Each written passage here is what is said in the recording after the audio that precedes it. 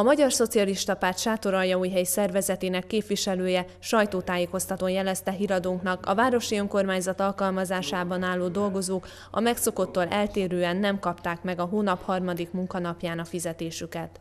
A tény az, hogy szeptember 3-án a sátoralja újhelyi közmunkások és közalkalmazottak nagy része nem kapott fizetést. Ez több száz családot érint sátoralja újhelyen.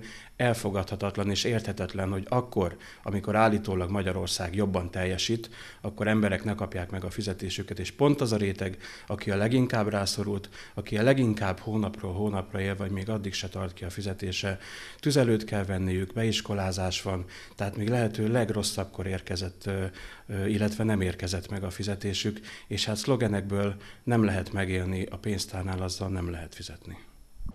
A város vezetése elmondta, ma reggelre minden önkormányzati dolgozó megkapta munkabérét. Azok az alkalmazottak pedig, akik az önkormányzatnál azonos banknál vezetik számlájukat, mert tegnap este felvehették a fizetésüket, járandóságukat. A kincstár és az önkormányzat számlavezető bankja közötti adminisztrációs probléma miatt nem volt harmadikán fizetése a városi alkalmazottaknak. Szamosvölgyi Péter polgármester szerint ezt az információt az MSZP-s képviselőnek is elmondta volna, ha megkeresi, de nem tette meg.